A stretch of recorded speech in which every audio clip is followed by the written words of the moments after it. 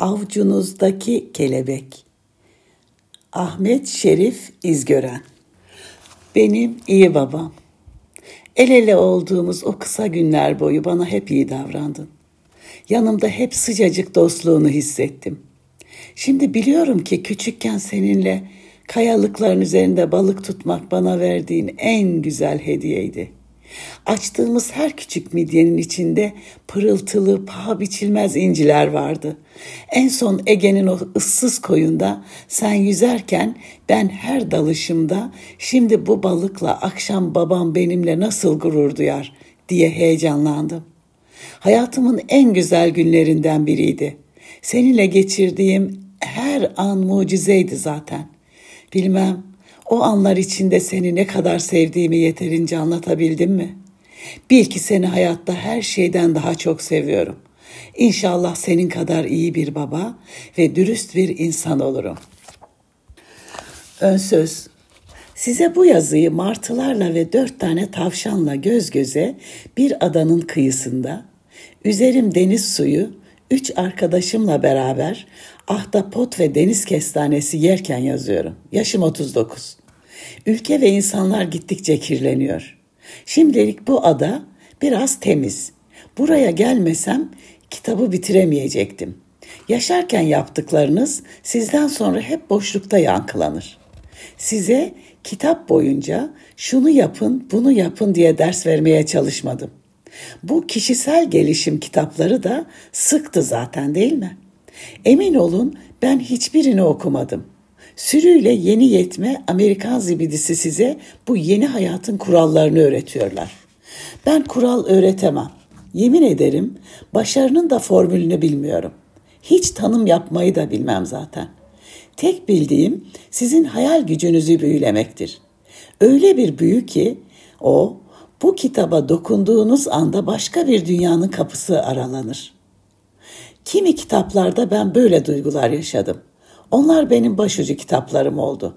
İnşallah avcunuzdaki kelebek de sizin için öyle bir kitap olur. Hayatınızı etkiler ve yıllarınıza hayat katar. Ve hayatınıza hayaller, hayallerinize dostlar ve dostlarınıza hayat. Beraberce yaptıklarınız sonsuzlukta yankılansın. Dostlukla. Şerif. 14 Nisan 2004 Ayvalık. Avcunuzdaki kelebek. Şimdi lütfen boş bir sayfaya elinizi koyun ve bir kalemle elinizin şeklini sayfaya çizin. Bu beş parmağa beş tane soru yazacaksınız. Bugüne kadar kendinize sormadığınız beş tane soru. Bunları içten ve doğru cevaplarsanız kitap sona erdiğinde aslında kitabın hiç sona ermediğini, ilginç bir hayat kılavuzu elde ettiğinizi göreceksiniz. Nasıl mı? Az sonra. Önce bir kalem bulup karşı sayfaya elinizi çizin. Baş parmağınızın üzerine şu soruyu yazın. Ben kimim? İşaret parmağınıza ne yapmak istiyorum? Orta parmağınızın üzerine nereye ulaşmayı amaçlıyorum? Yüzük parmağınıza bunu nasıl yapabilirim? Serçe parmağınıza niçin? Aranızda yüzük parmağına bir şey yazmadan önce yengeden izin alanlar varsa kitabın devamını okumalarına gerek yok. Aynı şekilde yüzük parmağına bir şey yazmak için kendisinden izin istenen hanımların da kitabı okumalarına gerek yok. Eğer ileride kitap yazarlarsa ilk ben okurum. Üniversiteler beni seminerlere davet ettiklerinde seminer sonrasında öğrencilerden en çok duyduğum sözler şunlar. Okul bitiyor ne yapacağım bilmiyorum. Hangi mesleği önerirsiniz? Master yapacağım ama hangi alanda bilmiyorum. Bazen okurlarımdan mektuplar alıyorum. Geleceğimle ilgili kararsızım. Geleceğinizle ilgili kararlar almak aslında hiç de zor değildir. Zorluğu yaratan sizin kendinizi yeterince tanımamanızdır hayata dair kararlar almanızı kolaylaştıracak nitelikte olan kendiniz ile ilgili bilmeniz gereken üç temel çıkış noktası vardır. Bu üçünü bilmeniz hayatınızı anlamlı hale getirir. Eğer gelecek hayallerinizi, hayat amacınızı ve değerlerinizi bilmiyorsanız sıradan doyumsuz bir hayatı sürdürürsünüz. Derin bir nefes alın başlıyoruz. Deniz kızları Adamın biri her mehtaplı gecede alır başını deniz kıyısına gidermiş. Döndüğünde çevresindekiler ona şu soruyu sorarlarmış. Ne gördün? Dünya güzeli deniz kızları gördüm. Altın saçlarını gümüş taraklarla tarıyorlardı diye cevap verirmiş hep. Bir gece yine tek başına deniz kıyısına vardığında gerçekten dünya güzeli deniz kızları görmüş. Altın saçlarını gümüş taraklarla tarıyorlarmış. Döndüğünde çevresindekiler yine sormuşlar. Ne gördün? Hiç demiş. Hiçbir şey. Oscar Wilde. Ya bir yol açın, ya bir yol bulun ya da yoldan çekilin. Ted Turner. Gelecek hayaliniz.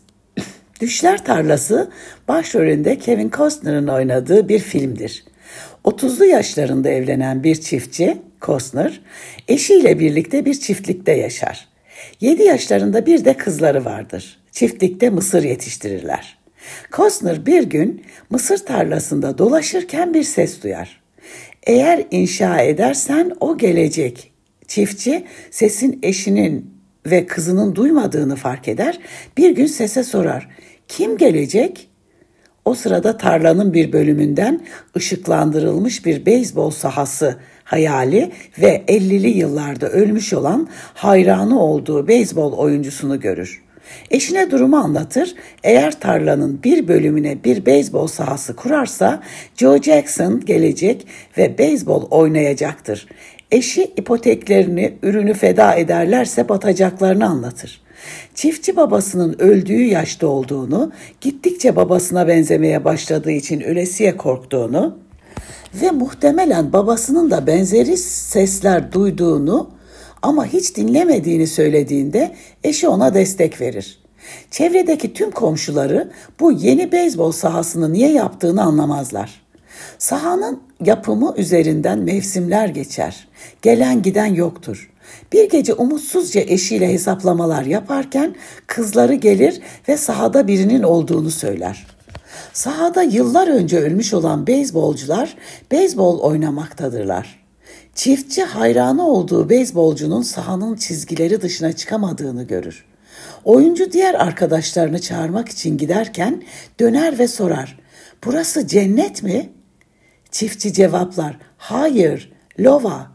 Ertesi gün misafirleri geldiğinde çiftliği satması için baskı yaparlar.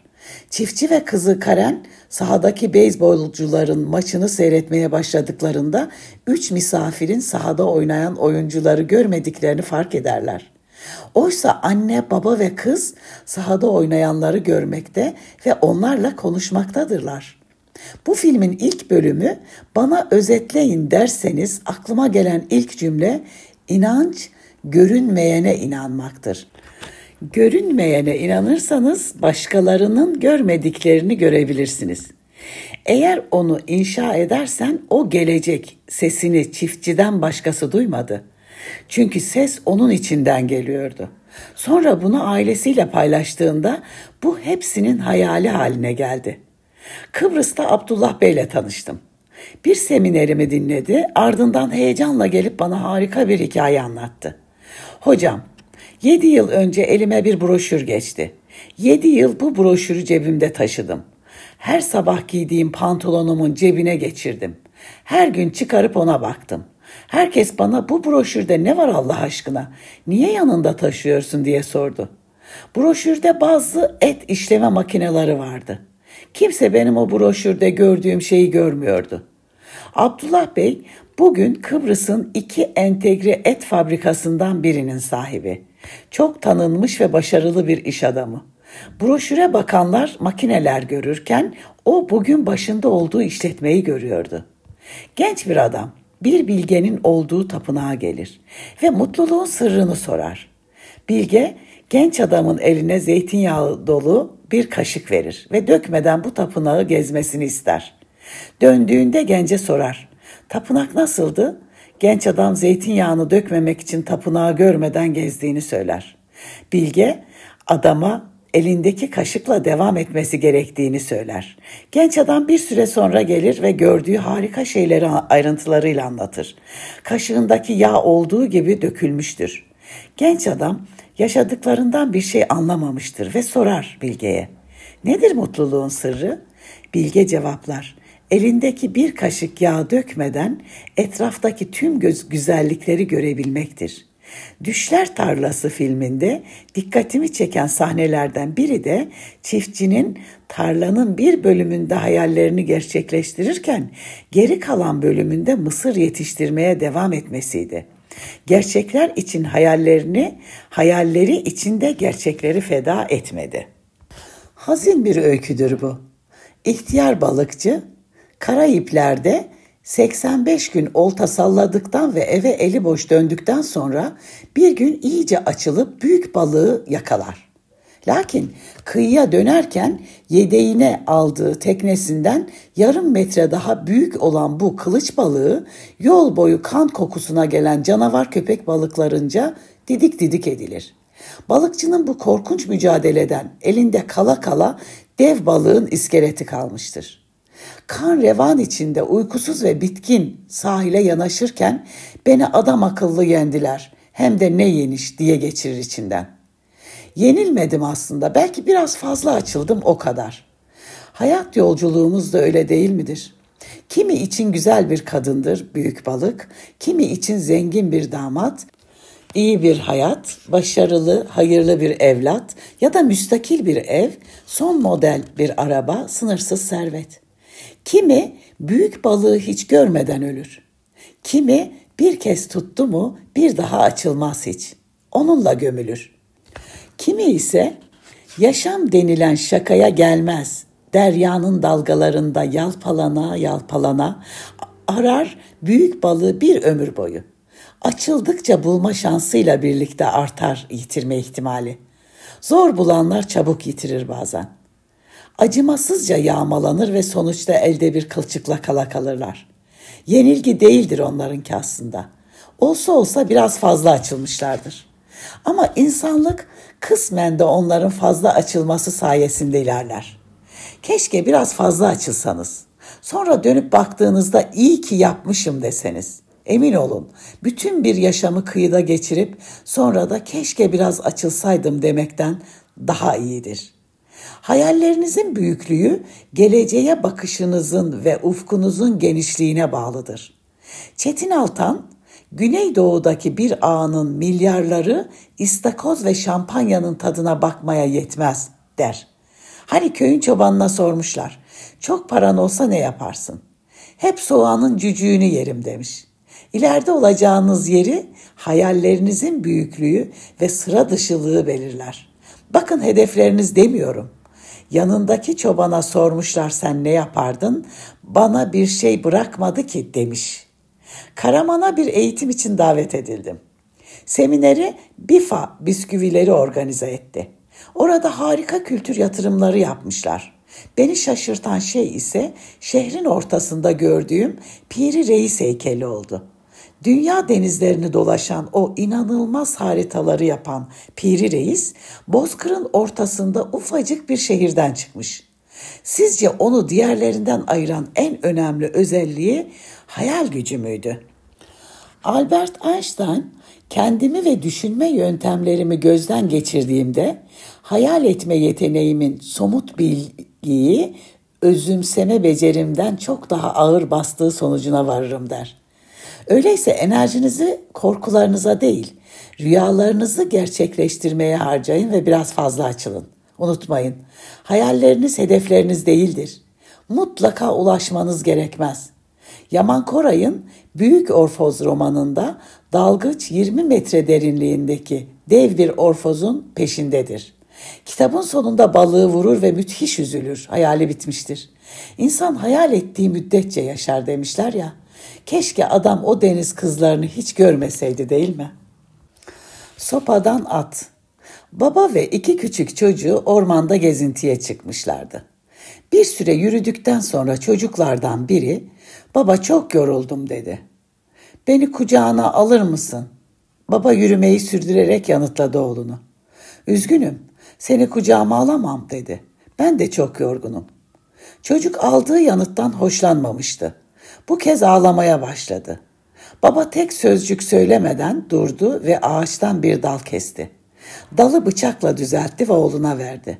Al oğlum sana güzel bir at dedi. Çocuğun gözleri mutlulukla ışıldadı. Büyük bir coşkuyla sıçrayarak ata bindi ve atına vurarak evine doğru yürümeye başladı. Baba kendilerini şaşkınlıkla izleyen kızına döndü bu kez. İşte yaşam budur kızım dedi. Bazen çok yorulduğunda kendini hayata bağlayacak bir şey ararsın.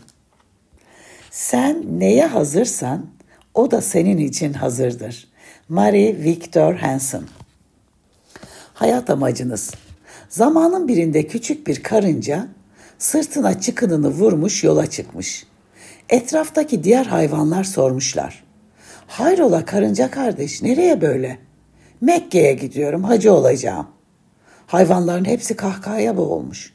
Ufacık hayvansın oraya varmadan açlıktan susuzluktan ölürsün demişler. Olsun demiş minik karınca. Varamazsam da yolunda ölürüm. Batı'da intihar oranları üzerine yapılan araştırmalar intihar edenlerin çoğunun gelir düzeyi yüksek, eğitimli insanlar olduğunu gösteriyor. İntihar edenlerin ortak bir noktası var. Hayat amaçlarını kaybetmişler. Benim yaşımda birisi kalkıp size hayatınızın amacı bu olmalı diyemez. Bu herkes için farklıdır. Farklı olması gerekir. Yeter ki bir amacınız olsun. Hayatınızın bir amacı olması sizi ve hayatınızı değerli kılar. Burada kastettiğim 15 cümlelik bir amaç değil. Bu iki cümledir. Bilemediniz üç cümle ve herkes için farklıdır. Bu birisi için ülke topraklarının kaybını önlemek, bir başkası için sanayi imparatorluğunu genişletmek, başka birisi için bilgi yaymak, lösemili çocuklara yardım etmek, kendini hayvanlara adamak gibi her şey olabilir. Bu yazdıklarımdan bir bölümü için böyle hayat amacı mı olur diyebilirsiniz.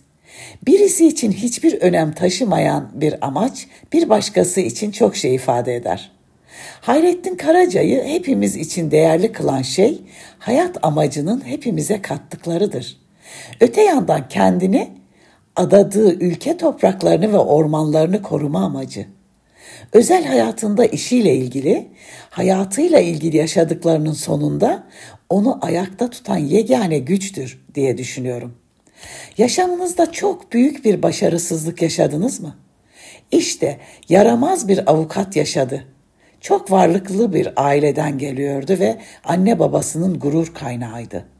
En iyi okullarda okumuş, avukatlık diploması almıştı ve çok önemli insanlar tanıyordu. Fakat iyi bir avukat olarak kendisini kanıtlaması gerekiyordu. Babasının yardımını ve sosyal çevresini kullanmadan başarmak istiyordu bunu. Ancak mahkeme salonunda bıraktığı ilk izlenim korkunçtu. Karşı tarafın gücünden o kadar korkmuştu ki büyük bir yenilgiye uğradı. Kendisini bitkin hissettiği bir anda kendisinden çok daha kötü durumda olan insanlar olduğunu fark etti ve işte o zaman sorununu nasıl çözeceğini düşünmeye başladı. Çok ünlü bir avukat olmayı başaramadı ama kendi felsefesini geliştirdi ve kendine bir hayat amacı belirledi memleketi olan Hindistan'ın İngiliz egemenliğinden kurtulmasını sağladı. Adı Mahatma Gandhi'ydi. En kötü başarısızlıklarımızda çevremize şöyle bir bakabilirsek yaşam hakkında bambaşka bir bakış açısı kazanabiliriz. Kendinizi en başarısız hissettiğiniz anlar belki de geleceğin tohumlarını atmanız için en uygun zamanlardır.'' Gandhi çevresine şöyle bir bakındıktan sonra yaşamını bir başarı öyküsüne dönüştürdü. Mahatma Gandhi kendisine bir bakıp gördüğünden hoşnut olmadığı için dünya daha yaşanılası bir yer oldu. Gandhi'nin hayat amacı dünyayı derinden etkiledi. O başarısız avukatın dönüp kendine bakarak bir hayat amacı belirlemesi Hindistan'ın kaderini değiştirmeyebilirdi. Emin olun kendi kaderini etkilemiş ve hayatına değer katmıştır. Hayat amacınızı bir kağıda yazmanız gerekmez. Gerçekten inanmanız yani kalbinize yazmanız gerekir. Küçük bir öksüz çocuğu evlat edinen anne çocuğunu anaokuluna getirir, küçük çocuk orada diğer çocukların alay etmesiyle öksüz olduğunu öğrenir. Akşam annesi onu almaya geldiğinde gözleri dolu dolu sorar. Anne, öksüz ne demek? Annesi pırlanta gözleriyle cevaplar. Diğer çocuklar gibi annenin karnında değil, kalbinde büyümüşsün demektir kızım der. Çocuk sevinç içinde annesine sarılır. Amerikalıların başarı kitapları, özenti filmleri size bir hayat amacı vermez. Hayatınızın amacını kalbinizde büyütürsünüz ve o size aittir. Ona gerçekten inanmanız gerekir. Köy ahalisi uzun kuraklık sonrası imamı zorla ikna etmiş, açık araziye çıkılmış, imam gelmiş ahaliyi şöyle bir süzdükten sonra sormuş. Ya, yağmur duasına mı geldiniz? Evet. Benim yağmur yağdırabileceğime gerçekten inanıyor musunuz? Evet. Nerede lan o zaman şemsiyeleriniz?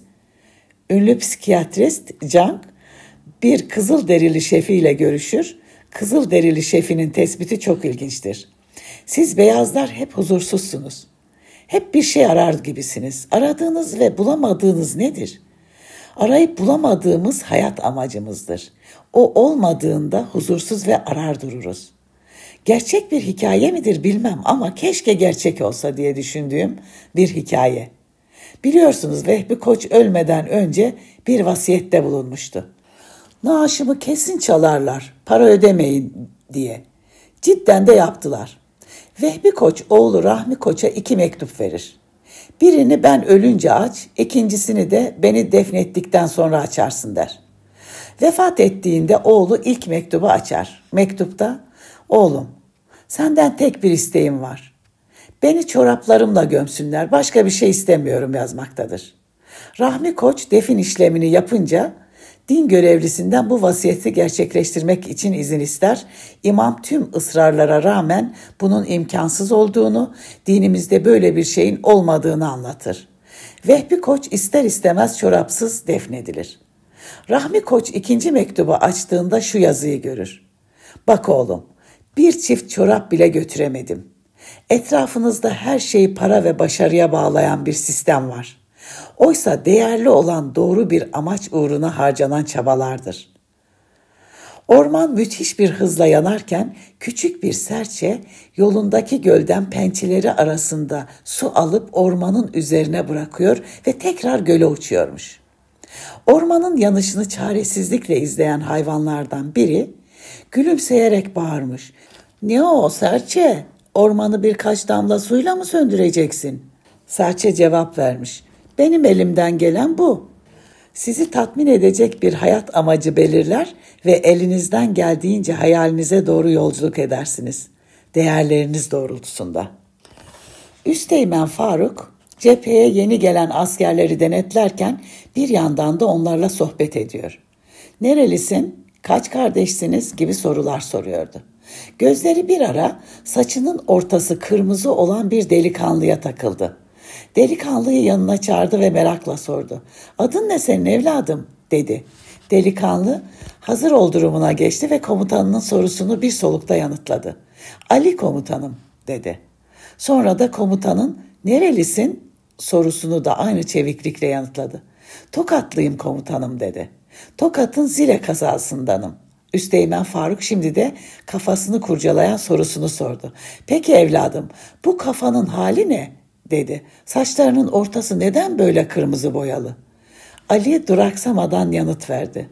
Cepheye gitmek için evden ayrılmadan önce anam saçıma kına yaktı komutanım dedi. Neden yaktığını da bilmiyorum. Üsteğmen fazla üstelemedi. Peki gidebilirsin kınalı Ali dedi. Onun o gün ağzından çıkan Kınalı Ali adı Ali'nin o günden sonraki adı oldu. Cephede tüm arkadaşlarının ağzında onun adı artık Kınalı Ali'ydi. Arkadaşları ona Ali yerine Kınalı Ali demekle kalmıyorlar, saçlarının ortasındaki kınasına takılıyorlar. Onun kınalı saçını zaman zaman yoğunluğunu arttırdıkları şakalarının konusu yapıyorlardı. Kınalı Ali, sevecen tutumu ve cephedeki cesur atılımlarıyla kısa sürede tüm arkadaşlarının sevgisini kazandı.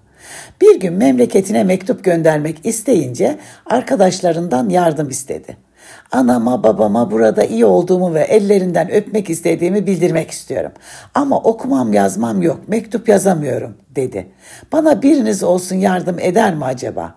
Bir değil birçok arkadaşı yardımına geldi Kınalı Ali'nin. Sen söyle yazalım mektubunu dediler. Kınalı Ali söylüyor bir arkadaşı yazıyor. Öteki arkadaşları ise mektubu yazanın sağından solundan başlarını uzatarak söylenenleri doğru yazıp yazmadığını denetliyorlardı. Sevgili anacığım babacığım diye başlıyordu Kınalı Ali'nin mektubu. Ve hasretle ellerinizden öperim, ben burada çok iyiyim, beni sakın merak etmeyin diye devam ediyor. Kız kardeşinin kendinden bir küçük erkek kardeşinin sağlığını ve hatırını soruyor köydeki herkesin burnunda tüttüğünü ve kimsenin kendisini merak etmemesini söyledikten sonra biz burada var oldukça bilesiniz ki düşman bir adım bile ilerleyemeyecektir tümcesiyle bitiriyordu. Mektubunu yazmayı bitiren Kınalı Ali tam zarfı kapatırken birden durdu ve iki üç satır daha ekleyeceğim diyerek mektubunun sonuna şunları yazdırdı. Anacığım Beni buraya gönderirken kafama kına yaktın. Ama burada komutanlarım da arkadaşlarım da benimle hep dalga geçtiler. Cepheye gitme sırası yakında. İnşallah kardeşim Ahmet de de gidecek. Onu gönderirken sakın kına yakma saçına. Burada onunla da dalga geçmesinler. Bir kez daha ellerinden öperim sevgili anacığım. Gelibolu'da savaş giderek şiddetleniyordu. İngilizler kesin sonuç almak için tüm güçleriyle Gelibolu'ya yüklenmeye başlamışlardı. Gelibolu cephesini savunan erlerimiz önceleri teker teker sonraları beşer beşer onar onar şehit oluyorlardı. Onlara destek olmak için giden yedek güçler de yeterli olmuyor, onların sayıları da giderek azalıyordu. Gelibolu düşmek üzereydi. Kınalı Ali'nin komutanı bu durum karşısında çaresizliğinden ve hırsından yerinde duramıyordu. Kendisinin bölüğü henüz sıcak temasa hazır değildi. Onlar yeni gelmişlerdi cepheye. Genç erlerini insan bedeninin süngü ve mermilerle orak gibi biçildiği bu cepheye göndermek zorunda kalmamak için Tanrı'ya dua ediyordu. Komutanlarının bu düşünceli ve sıkıntılı durumunu gören cephenin düşmekte olduğunu bilen Kınalı Ali ve arkadaşları komutanlarına gittiler. Ondan kendilerini cepheye göndermelerini istediler.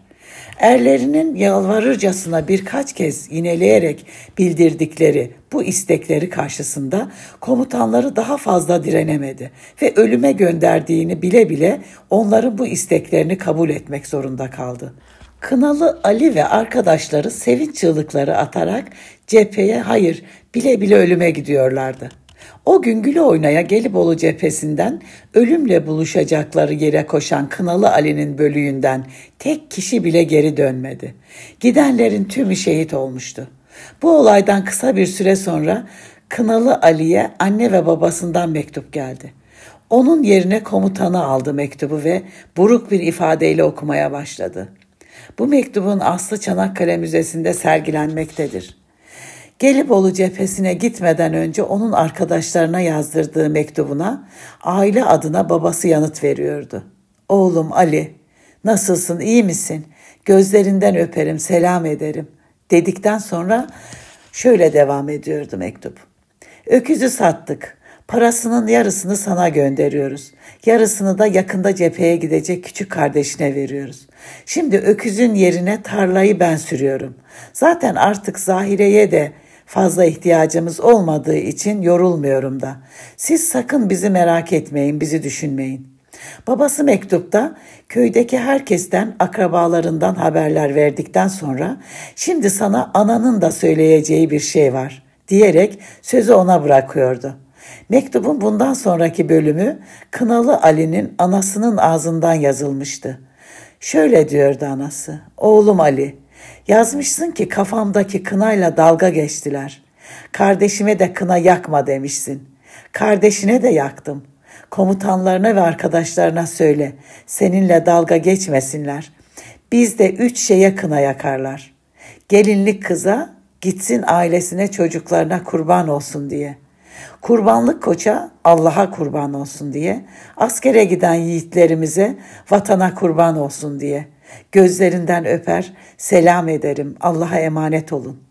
Ali'nin komutanı mektubu okurken çevresindeki herkes hıçkıra hıçkıra ağlıyordu. O anneyi hayatta tutacak ve o acıyla baş etmesini sağlayacak tek şey hep beraber inandıkları bir amaç için oğlunu kaybetmektir. Ben bir okuyucu olarak bu satırları okurken içimden gülümseyebilirim. Böyle amaç mı olur? Bu sadece o annenin yani tek kişinin hayat amacı olsa bile ona yeter. Herkesin paylaşması gerekmez. Hepimiz kar taneleri kadar farklıyız. Hayat amaçlarımız da o kadar farklı olabilir. Ya hoca, kitaba bu kadar para bayıldık. İşte idealinizi siz belirlersiniz, sizden başkası bilemez falan. Sen bir şey öğretmeyecek misin? Öncelikle benimle konuşurken sesinizi yükseltmeyin. Ben de gerilirsem tatsızlık çıkar. Yine de kibarca cevaplayayım. Bundan 3-4 yıl önce Seattle'da Dünya Spastik Olimpiyatı düzenleniyor. 100 metre yarışı çeşitli ülkelerden gelmiş zihinsel engelli, Down sendromlu koşucular yarış başladığında koşuculardan birinin ayağı takılıyor, düşüyor ve acıyla bağırmaya başlıyor. Çok ilginç. Bir şey oluyor. Diğer zihinsel engelli koşucular durup geriye dönüyorlar ve düşen atleti kaldırıyorlar. Down sendromlu bir kız oğlanı öpüyor. Bu onu iyileştirir diyor. Kollarına girip teselli ediyorlar ve hep beraber yürüyerek yarış çizgisini geçiyorlar. Seyirciler gözyaşları içinde alkışlıyorlar. Size başarı başarı diye öğrettikleri şey belki de başarı değildir. Hani şu eğitimler falan var ya Amerikalıların tüm 3. dünya ülkelerine sattıkları. Birilerini modelle onun yaptıklarını yap sen de başarırsın. Hayat 100 metre yarışı değil. Eğer öyleyse bir kazanan var, dokuz tane kaybeden. Siz de yüzde doksan o kaybedenlerden birisiniz. Ben hep arkadaki adamlardan biri oldum. Acaba birbirini hırsla geçmeye çalışan bizler mi daha insanız yoksa düşen arkadaşlarını kaldırmaya kalkan o engelliler mi?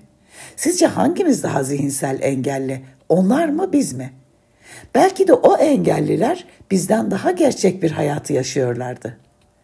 Bizim yaşadığımız çok sahte tüketime ve birbirini ezmeye dayalı bir hayatsa amma şaşırırız değil mi?